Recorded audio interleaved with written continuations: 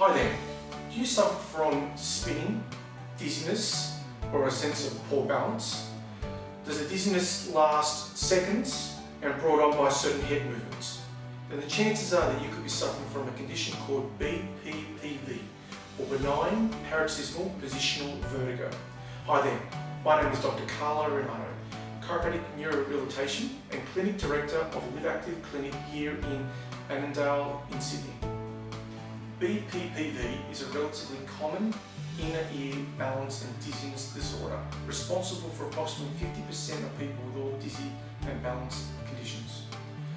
It results from tiny calcium crystals in your ear detaching, and unfortunately your brain then gets mixed messages that the body is still moving, giving you a sense of dizziness.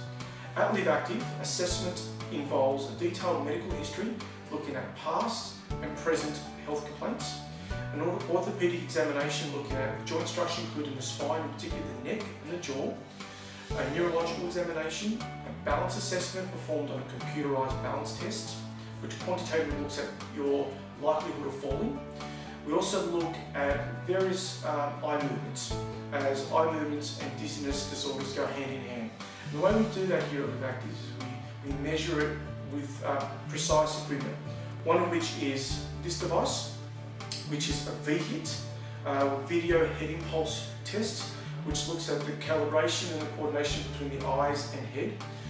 The other unit we use, uh, both of which are high-tech piece, piece equipment, is a VNG. VNG is described as a video nystagmography and it's used by a lot of the balance and hospital uh, clinics. It helps detect uh, subtle eye movements uh, when performing various tasks, when looking at slow or fast eye movements, looking at certain reflexes that relate to the eye and the balance centers of the brain.